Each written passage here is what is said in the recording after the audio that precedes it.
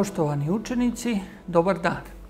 Ja sam nastavnik Lazar Aranitović, a u okviru našeg današnjeg predavanja bavit ćemo se temom teških kršenja ljudskih prava na području Crne Gore tokom 90-ih. Iako je iz 90-ih izašla bez većih ratnih razaranja, na teritoriji Crne Gore desili su se slučajevi teških kršenja ljudskih prava. Da bismo govorili o ovoj temi, u samom uvodnom dijelu, potrebno je da se fokusiramo na neke osnovne pojmove. Kršenje ljudskih prava predstavlja zlostavljanje ljudi u vidu povrede bilo kog fundamentalnog ljudskog prava. Kroz teška kršenja ljudskih prava narušavaju se glavni principi univerzalne deklaracije o ljudskim pravima. Pravo na život, pravo na slobodu, pravo na ličnu bezbjednost, pravo na slobodu misli, savjesti i vjeroispovijesti, pravo na slobodno kretanje, zabranjeno je samovoljno hapšenje, zabranjeno je mučenje, zabranjena je diskriminacija.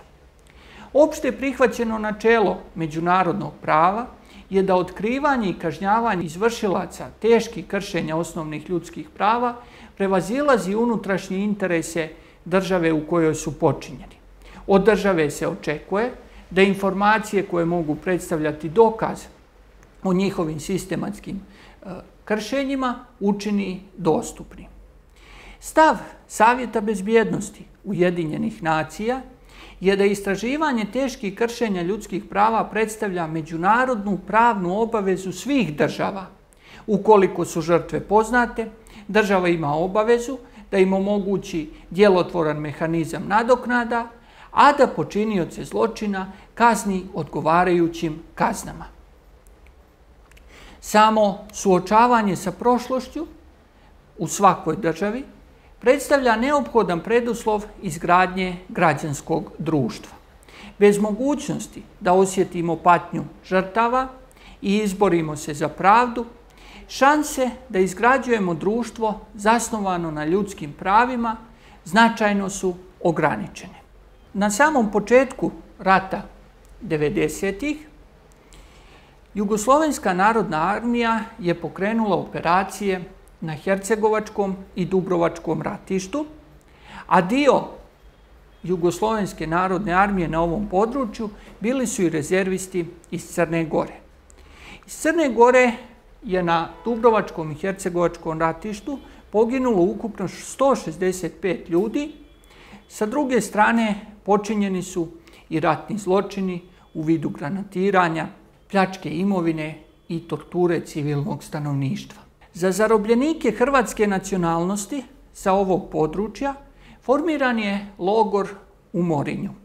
Morin je malo mjesto na zapadnoj obali Kotorsko-Risanskog zaliva u Boki. Logor u ovom malom mjestu je bio aktivan od oktobra 1991. do avgusta 1992. godine. Kroz logor je prošlo između 250 i 300 ljudi. Ono što je bila karakteristika ovog logora jeste da su se dešavala česta mučenja, a od posljedica mučenja troje ljudi je preminulo. Vrhovno državno tužilaštvo Crne Gore je 2008. godine pokrenulo postupak protiv šest lica. Bili su optuženi za kršenje pravila Ženevske konvencije o postupanju sa ratnim zarobljenicima. Od šest optuženih, četvorice ljudi su osuđena kao pripadnici bivših rezervista Jugoslovenske narodne armije, a osuđeni su ukupno na 12 godina zatvora.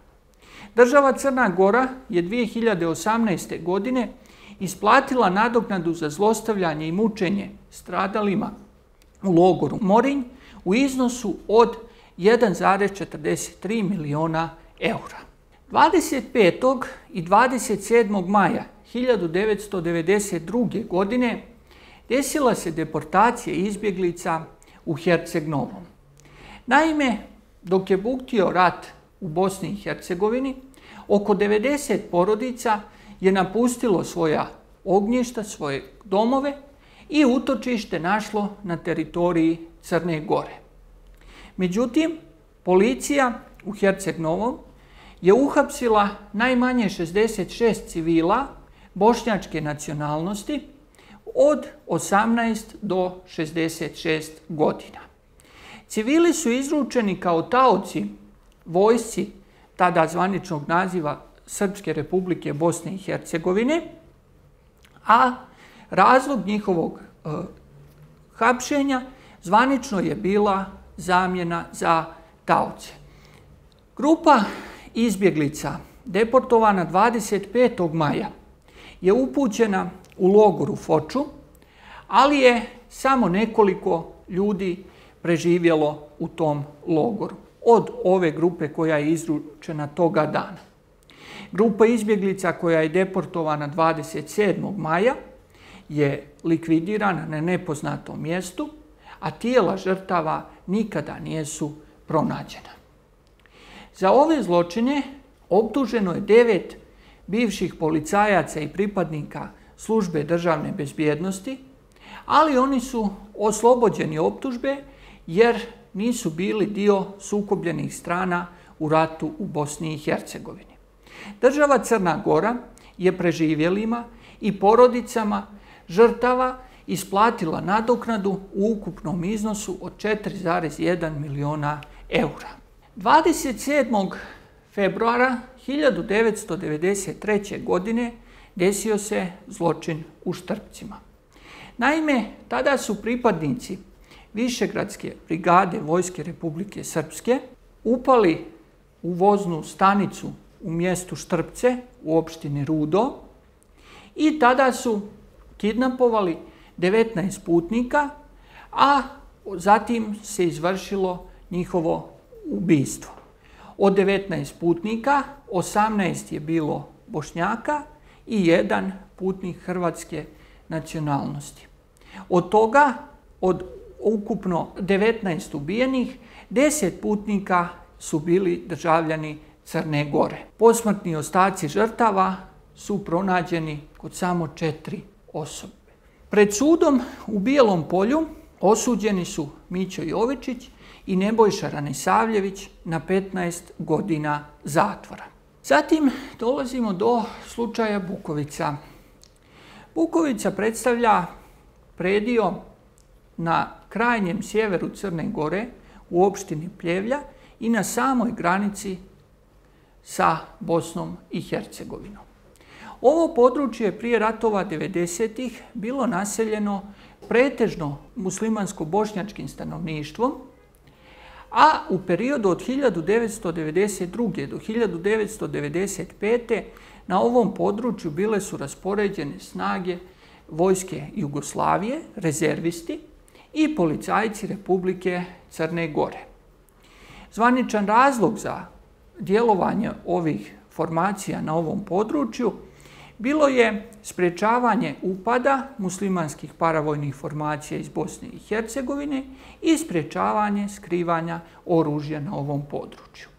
Ipak, na ovom području se u ovom trogodišnjem periodu, od 1992. do 1995.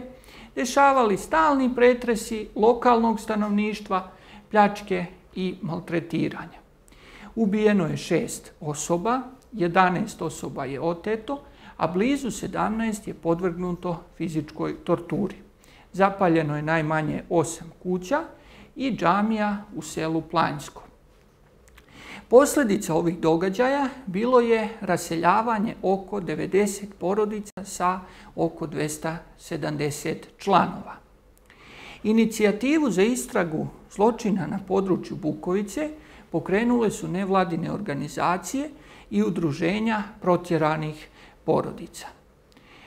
Optuženi za ratni zločin su oslobođeni optužbi, a na ime odštete vlada Crne Gore je isplatila oko 5 miliona eura i pokrenut je proces povratka porodica na ovo područje. Tokom NATO intervencije i bombardovanja Savezne republike Jugoslavije 1999. godine desilo se i bombardovanje Male Varošiće Murino 30. aprila 1999. godine.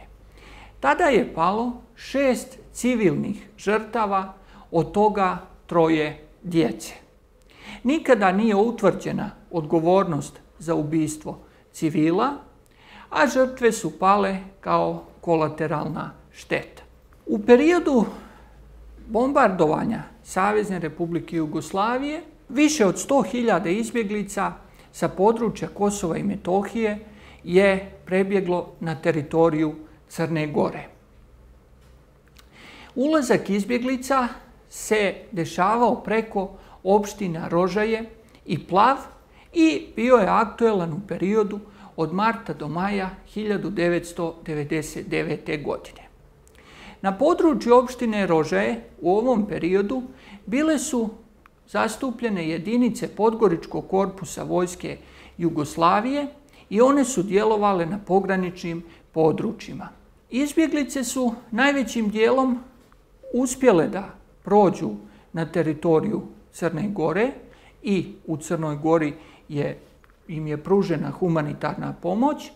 Međutim, Podgorički korpus je u pojedinim momentima djelovao na način što se pucalo na kolone izbjeglica i desila su se teška kršenja ljudskih prava.